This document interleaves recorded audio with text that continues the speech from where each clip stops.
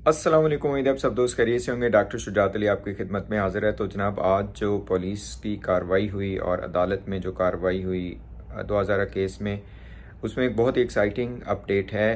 Police ने जो progress report जमा करवाई अदालत को, आज एक साइड पे तो मेडिकल लीगल एग्ज़ाम की रिक्वेस्ट की गई थी तफ्तीशी अफसर की तरफ़ से। दूसरी साइड से जो एक रिपोर्ट जमा करवाई गई, उसमें ये बताया गया कि मरकज़ी मुलजिम शबीर ने इस बात का इतराफ़ किया है कि वो कराची में था और वही दो हज़ारा को किडनैप करके कराची से लेके गया है साथ साथ जहीर के।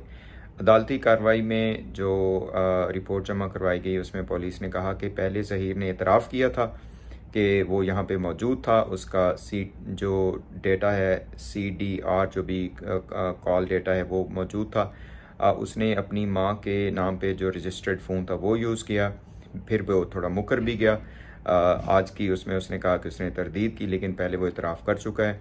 उसके साथ साथ शबीर ने इस बात का इतराफ़ किया कि वो यहाँ मौजूद था और कराची में उसकी लोकेशन भी पाई गई और वो बच्ची को यहाँ से अगवा करके लेके गया। और इसमें एक और बहुत जो एक्साइटिंग अपडेट है कि इनके ऊपर जो दफ़ात हैं स्पेशली 364 ए और इससे रिलेटेड जो दफ़ात हैं, वो पुलिस ने गुजारिश की है कि वो लगाई जाएँ। और मेडिकल लीगल के हवाले से जो एग्ज़ाम था, उस पर भी पुलिस ने वो अपनी एक जो गुजारिश की थी, वो आपके सामने उसका फ़ैसला महफूज किया गया, पहले हमने बात की थी। कल इंशाल्लाह जो है ना इसके ऊपर हतमी फैसला आएगा, रिटर्न ऑर्डर आएगा तालिक तरफ़ से तो ये जो सारी कार्रवाई है, ये मैं साथ साथ आपके इधर शो भी कर रहा हूँ, आप इसको रीड कर सकते हैं। बहरहाल ये लोग बचने वाले नहीं हैं, जो ये मर्ज़ी कर लें, इनके गर्दन में या फंदा ये पड़ चुका है, ये निकलने वाला नहीं है। साथ साथ बहुत ही ज़्यादा कंडेम करते हैं हम, ये जो जलील और खबीस दो तीन जो यूट्यूबर हैं जो मेहदी काजमी साहब के घर आज गए हैं और वहाँ पे जाके उनकी फैमिली को इन्होंने हरासा किया है।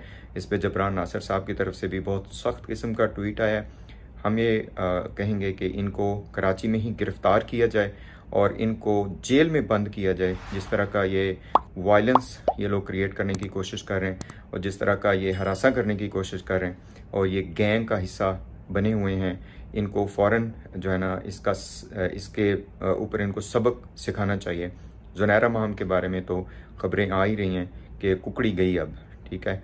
और उसके हवाले से जो इधर उधर एप्लीकेशन हैं वो भी आपके सामने।